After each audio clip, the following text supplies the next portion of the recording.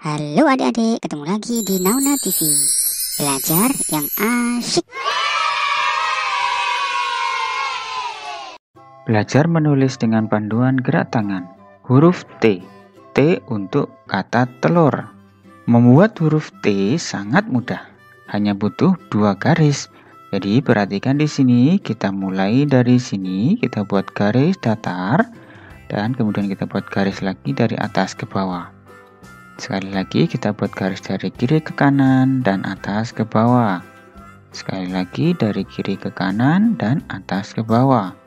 Dari kiri ke kanan, atas ke bawah. Iya. Mudah bukan?